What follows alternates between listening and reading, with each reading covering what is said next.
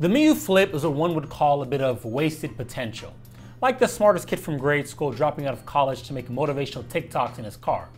He still got the charm, maybe even a little bit of talent, but deep down, you know he was meant for more. And that's kind of how I feel about the Flip. The way it launched was an actual travesty, and one of Miyoo's own making. They tried to rectify things with the V2 model, but then introduced its own set of troubles. Hinge Hingegate, anyone? So of course, this left the community on its own to fix things once again. But this wasn't a Miyoo Mini situation where support was overflowing. We got, well, Onion OS, which is nice, and that's it. Developer enthusiasm was just not there for this platform. And it's a shame because this should be the ultimate GBA SP styled handheld. And I know that several other clamshell handhelds have released in the wake of this one, but I actually still prefer the Miyoo due to its size, dual analog sticks, and its wonderful pastel color scheme. And it's like, look, I'm not buying a new device. This one sent me back 80 bucks on launch. So what is a handheld enthusiast supposed to do? Well, you could give today's video sponsor a try. Yeah, Mech DIY reached out to me a while ago about doing a sponsored video on their new open source OS for the Flip. And I'm not gonna lie, they definitely hooked me on the premise. And as a quick aside, I was not paid to say nice things about their product. They sent me the OS and a branded SD card and said, have at it. So I did. And what a time that was. The pitch was that they will be supplying a premium, open, and bespoke user experience, that they had fixed all the issues plaguing the stock OS and elevated the experience to a level where the community would be comfortable paying for it.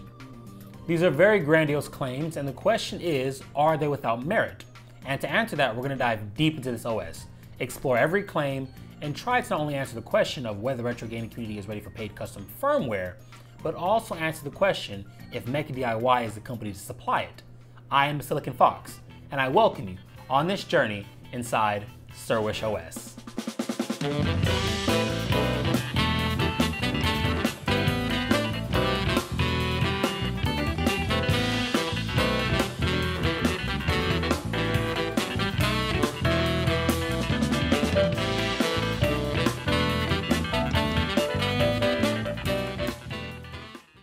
To really understand what Surwish is driving at, let us briefly take a trip down memory lane regarding the stock OS experience. If you recall, I said things like this. The Miyoo Flip was not ready to launch. Its state is less than ideal. Or this gem. The instability is insane. I've moved to a SanDisk 512GB SD card because apparently that's something you have to do if you want a halfway decent experience outside of the box. And who could forget the classic? How did this device get delayed for so long and still ship like this? This is true madness. Not exactly a glowing review, but it still stands. I still have the stock SD card, and of course, all the same problems are still present. So, what does Surwish actually fix?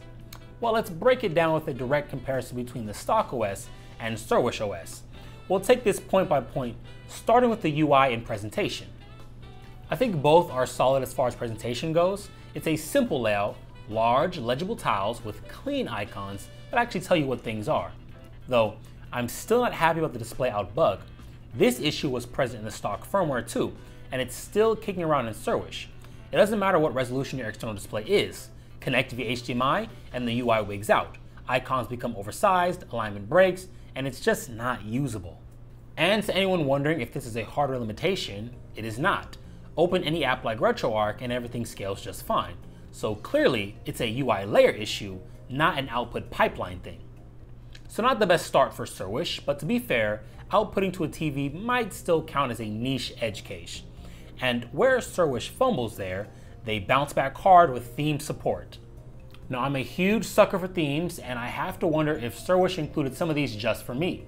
You've got your basics, standard dark and light layouts, and a few original designs that are surprisingly clever.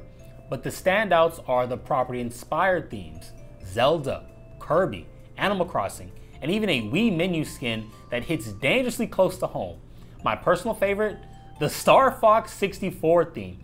It's rare to see love for that game, and whoever cooked that one up, certified connoisseur, a true person of taste. But beyond the visual flair, daily usability is where Surwish really steps up. Menus feel faster, transitions are smoother, there's none of the weird input delay or myriad of soft locks that haunted the stock OS. It actually feels like the handle is keeping up with you, not just tripping over every button press. You've also got some really practical features baked in, stuff like auto resume, so you can pick up exactly where you left off, or Smart Scraper, which auto downloads box art and metadata, even Emu Cleaner, which hides any emulator you're not actively using so your UI stays nice and clean. They even have support for network protocols like FTP, SMB, and SSH if you're the kind of person who likes dragging ROMs over the network instead of yanking out SD cards. These tools are also great for homebrew development. Being able to remote into your Miyoo to build apps and debug code works wonders for efficiency. Great stuff here, and not just aesthetic upgrades, it's real, everyday functionality. And as lovely as these themes and features are, the more pressing concern is still the core question. Is this OS any more efficient than its stock predecessor? Does it actually fix the core problems that plagued the original launch? Well, let's load up FOXX Metrics and find out. For those who missed my full review of the Flip, I built a small utility that will give us detailed power and chip readings for the console. I used it to illustrate how inefficient and idle this console was. You can get this software on my personal GitHub too if you want to check my homework. Anyways, I did a 10 minute idle drain test. I let the console stay on the home menu with no input and at 50% screen brightness. And the results were shocking. Take a look at this. Idle power draw on the stock OS hits 3.11 watts, while Surwish OS cuts that down to just 1.73 watts. That's nearly half the power consumption, and it shows in both battery life and heat. The Miyoo Flip would sometimes get hot for me up by the display assembly where the actual screen met the plastic housing. Never figured out what caused it, but that issue is entirely gone here. The handheld is so much cooler to the touch, and this efficiency also extends to game sessions. My go-to stress test is Sonic Adventure 2, and the results again surprised me. Under load, Surwish OS draws 2.94 watts versus 3.65 on the stock OS, a 19.5% efficiency gain. That efficiency boost is not just academic. Surwish OS gives you nearly 45 extra minutes of gameplay on the same battery. The same game, same hardware, just smarter software optimization. That deserves a lot of commendations. Though they didn't just strip the OS to its barest features, they expanded functionality and still found ways to eliminate resource drain. Which is an excellent segue into my next point, because one of the headlining features in Surwish's expanded functionality is native Portmaster support. Now, this almost became a very different section. For the life of me, I couldn't get Portmaster to work. The app just kept on crashing every time I launched it, even after multiple reinstalls. It updated once and then that was it, dead in the water. But here's the trick. Don't update the app when it prompts you to. Stick with the version included with Surwish and suddenly everything just works. Once I figured that out, the entire experience opened up.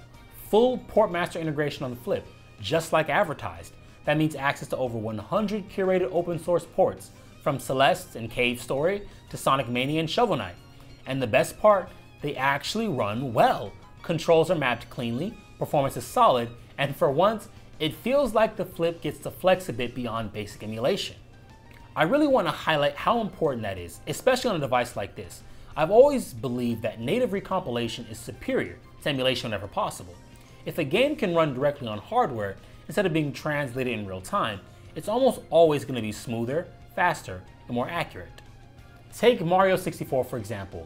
Emulate on the flip, it's a mess. Choppy frame rate, awkward controls, and visual glitches everywhere.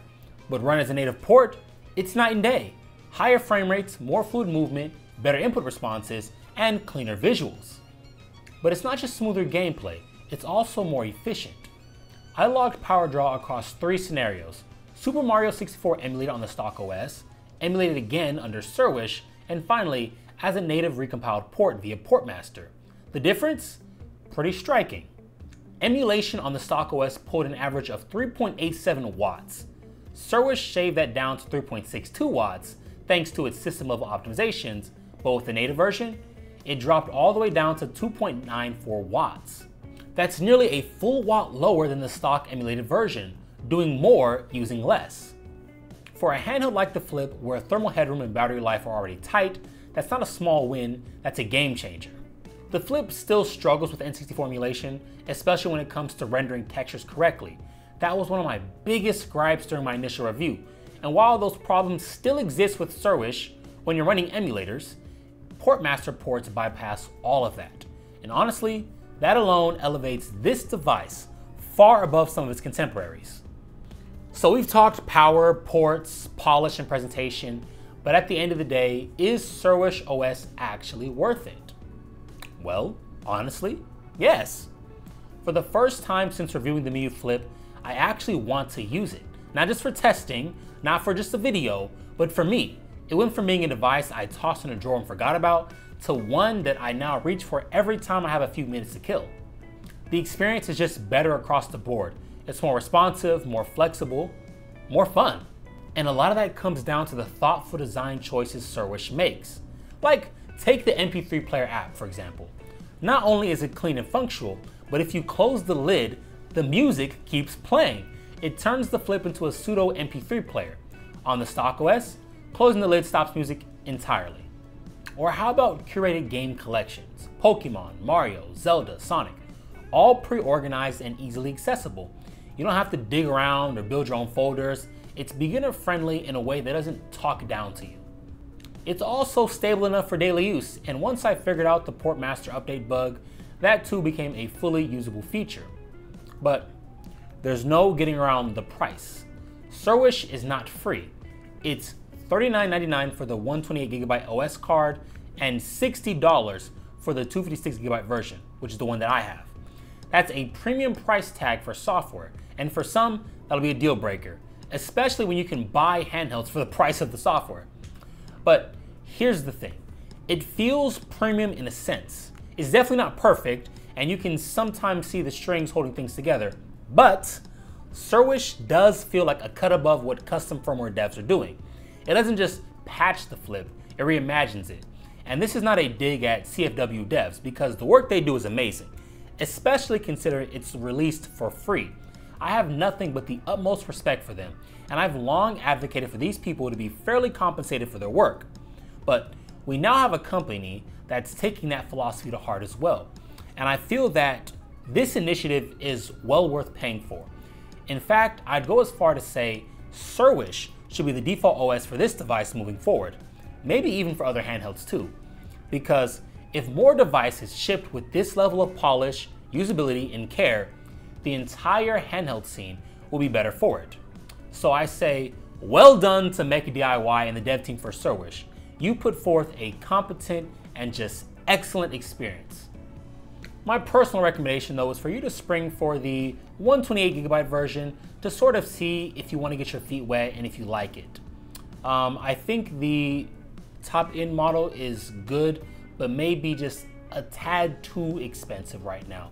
You know, this is kind of early days, but I am not against supporting this project. I do think you guys should go at least to the website and check them out and see if you'd like it. And check out the links in the description for it. But that's gonna be it for me. If you've enjoyed this video, please like and subscribe and kindly do the YouTube things. But until next time, I'll see you all then. This is Silicon Foxx saying ciao.